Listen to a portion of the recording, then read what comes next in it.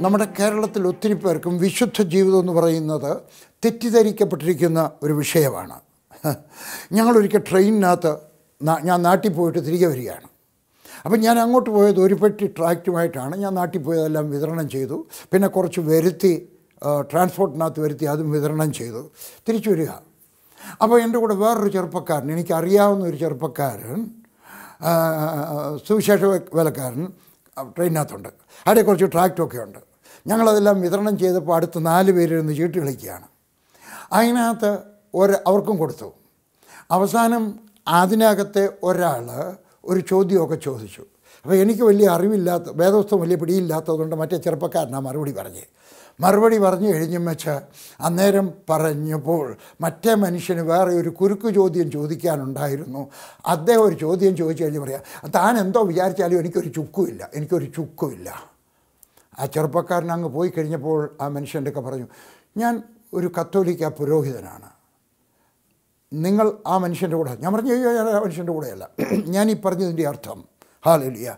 വിശുദ്ധ ജീവിതം എന്ന് പറയുന്നത് നമ്മുടെ ഉപദേശം തികവുള്ളതാകുമ്പോഴല്ല നമ്മുടെ ജീവിതം നമ്മുടെ സംസാരം നമ്മുടെ പെരുമാറ്റം. വേറൊരു ഉദാഹരണം കൂടെ പറയാം. ഇതെന്റെ ഓഫീസിൽ നിന്ന് റെക്കോർഡ് ചെയ്യുന്നത്.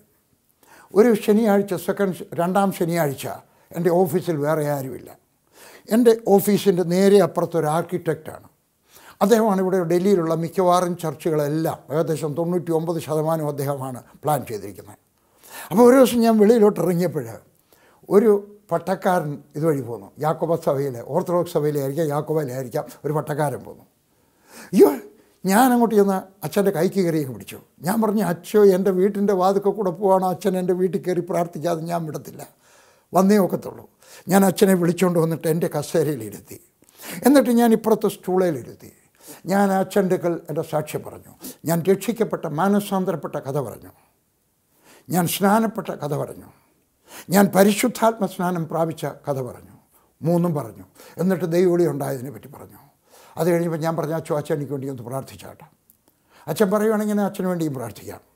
അച്ഛൻ എന്റെ ഒക്കെ പറഞ്ഞത് കേട്ടാട്ടെ. എനിക്കൊരു മകളേ ഉള്ളൂ. ആ മകളെ കിട്ടിയതൊരു അച്ഛനാണ്.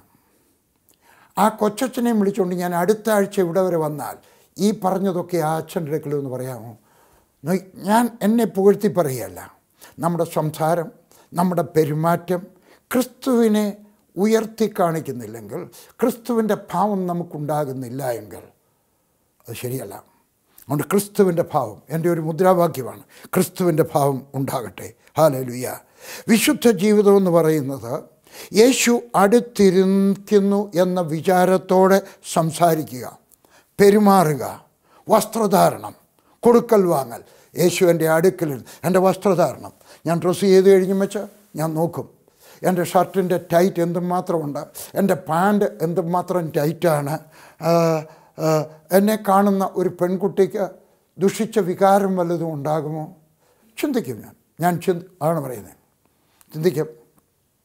നമുക്ക് ആ ഒരു ഗുണം ഉണ്ടാക്കിയെടുക്കണം. ഹാല ലൂയ വിശുദ്ധ ജീവിതം എന്ന് പറയുന്നത് വെള്ളവസ്ത്രം ധരിക്കുന്നതോ ആഭരണം ഊരിക്കളയുന്നതോ ഒക്കെ ചെയ്യേണ്ടി ചെയ്യട്ടെ പക്ഷേ ഇതിലൊക്കെ ഉപരിയായിട്ട് നമ്മുടെ അമ്മായിമ്മ കാണണം നമ്മുടെ മരുമകൾ കാണണം നമ്മുടെ അയലത്തുകാർ കാണണം നമ്മുടെ ഓഫീസിൽ ജോലി ചെയ്യുന്നവർ കാണണം. എന്റെ എന്റെ എന്റെ എന്റെ പ്രാർത്ഥന അതാണ്. കർത്താവ് എന്റെ ഓഫീസിൽ എനിക്കറിഞ്ഞൂടാ ഇപ്പോൾ എത്ര പെൺകുട്ടികളുണ്ടെന്ന് പക്ഷേ ഒരു സമയം ഉണ്ടായിരുന്നു പത്ത് ഇരുപത്താറ് കോവിഡ് വന്നപ്പോൾ എണ്ണമൊക്കെ കുറഞ്ഞു. ഞാനിങ്ങനെ അന്ന് പത്ത് ഇരുപത്തിയാറ് പെൺകുട്ടികളുണ്ട്. എന്റെ പ്രാർത്ഥന ഇതാണ്. കർത്താവെ ഞാൻ മരിച്ചു കഴിയുമ്പോൾ ഒരൊറ്റ പെൺകുട്ടിയും പറയരുത്. ഒരു ദിവസം ഞാനും അങ്കിളും മാത്രമേ ഉള്ളായിരുന്നു. അങ്കിൾ എന്നെ കണ്ണടച്ചു കാണിച്ചു. അല്ലെങ്കിൽ അങ്കിൾ എന്നെ ദുരർത്ഥത്തോടെ നോക്കി. അല്ലെങ്കിൽ എന്റെ ഒരു ദ്വയാർത്ഥത്തിൽ എന്നോട് സംസാരിച്ചു. പറയുവാനിടയായത്. ഞങ്ങളുടെ വീട്ടിൽ വേലയ്ക്ക് നിൽക്കുന്ന പെൺകുട്ടി പറയാൻ പാടില്ല. എന്റെ അടുത്തുകാർ പറയാൻ പാടില്ല. ആരും പറയരുത്. പി ജി വർഗീസ് സാധനം കൊടുത്തിട്ട് ഇതുവരെ രൂപ തന്നിട്ടില്ല എന്ന് പറയാനിടയായി തീരരുത്. ഹാലേ ലുയ നമ്മുടെ ജീവിതം അതുപോലെ ആയി തീരണം. ഹാലേ ലുയ നാലാമത്തെ കാര്യം വിശുദ്ധ ജീവിതം ജീവിതത്തിനകത്ത് സംസാരത്തിനകത്ത് പെരുമാറ്റത്തിനകത്ത്. ഹാലോ ലുയ നമ്മുടെ വസ്ത്രധാരണത്തിൽ എല്ലാം നമുക്കൊരു വിശുദ്ധ ജീവിതം ഉണ്ടാകണം.